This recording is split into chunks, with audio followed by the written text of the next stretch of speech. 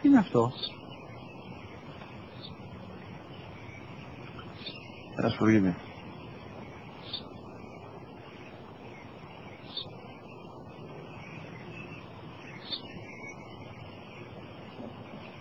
Τι είναι αυτό; Μόλις τώρα στο πατέρα, σπουργίτη είναι.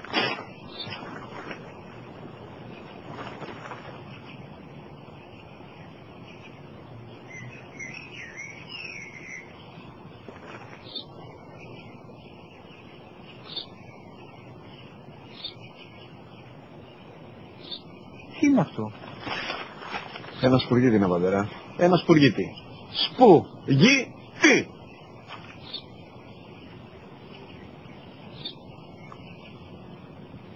Τι είναι αυτό; Γιατί το κάνεις αυτό το πράγμα, μπορείς να μου πεις τόσες φορές σου είπα, είναι ένας σπουργίτη. Δεν το καταλαβαίνεις. Πού πας;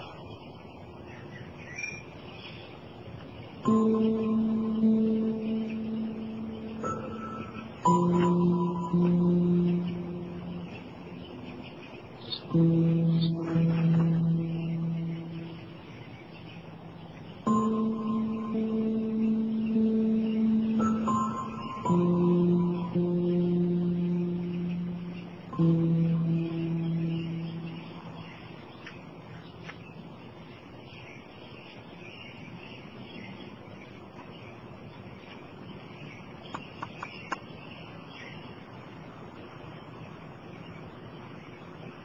Δυνατά. Σήμερα ο μικρός μου γιος που πριν λίγες μέρες έκλεισε τα τρία καθόταν μαζί μου έξω στο πάρκο όταν ένας σπουργίτης ήρθε και κάθισε απέναντί μας.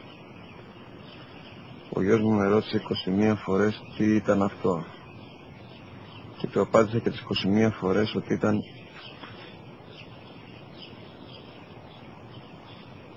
ένας σπουργίτη. Τον αγκάλιασα τρυφερά και τις 21 φορές που μου έκανε την ίδια ερώτηση, ξανά και ξανά, χωρίς να εκνευριστώ, νιώθοντας στοργή για το αθώο μου αγοράκι.